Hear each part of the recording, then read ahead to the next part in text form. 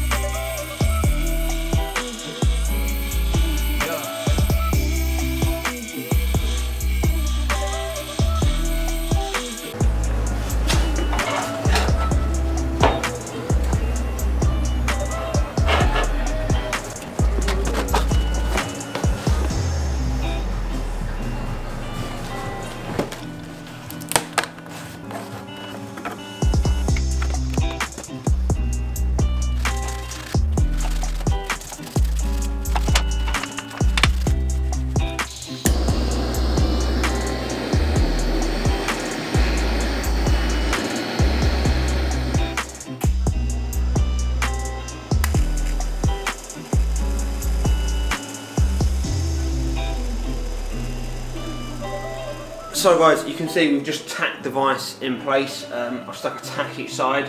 Uh, before that, I've preheated this area.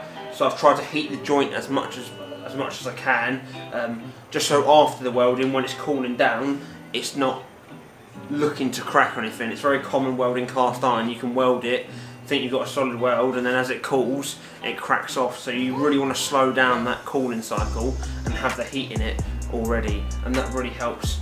Welding this, I'm using a phosphor bronze filler rod. Uh, it's quite thin actually, it's 1.2 mil, but um, it's not crazy a crack, and I haven't as much as I want to get more material in there, I haven't gone crazy because it's quite a weird, weird place. It's cracked, and I kind of want to keep it as neat as possible. Um, we're welding on 85 amps on the welder, just straight DC current. Um, shielding gas is argon. One thing you do notice welding this is as you're as you're welding, you can see the impurities within the cast pulling out. Um, what I'm trying to focus on is not melting the two base metals. Um, when I say two, I mean each side of it. I'm looking to, the V that I've created, I'm looking to really fill that material and not fuse the bottom together. That's where the issues come in. You're trying to add that filler and just create a bond between the two. So um, no emphasis on just focusing on where I'm putting the heat and not putting too much into it. But yeah, we're gonna let it cool off a bit more and then we'll fix it to the bandsaw where it's gonna sit, check all the holes line up. Um, it should do, like I say, the cracks go back together quite nicely and then I'll try and get some arc shots, actually welding it and show you how I'm doing this.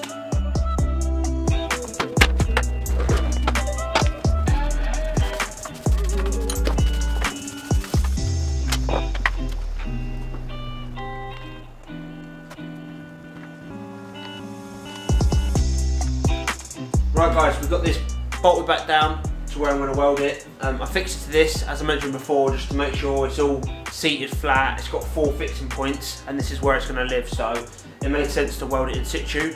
Um, going to preheat it after this.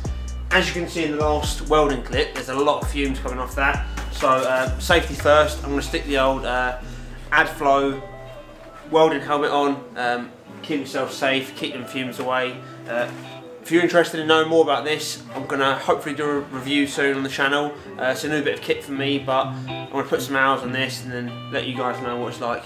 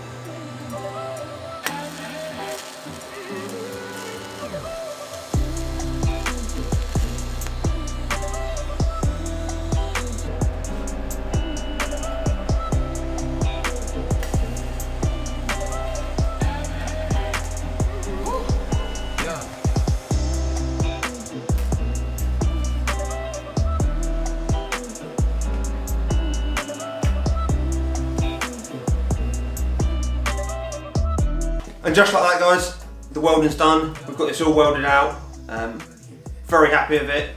It's nice and solid. I've let it cool down. Uh, it's looking good. All we've got left to do is throw this back together. Just want to say this is my first time using the phosphor bronze TIG wire. Um, I'm really impressed with it. I know it's TIG brazing, but anything, it, it flowed like standard filler metal, so I can't complain. Um, as for the repair, I think time will show. Um, let's see how long it holds out for. Uh, welding cast iron and vices is never ideal, but especially TIG brazing as well, it's not the conventional way to do it, but it suited me and my setup, so that's what we went for. Um, I'm to leave this here for this video. Hope you guys enjoyed it.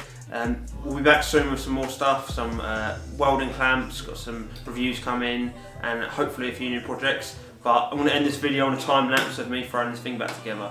Um, see you guys later.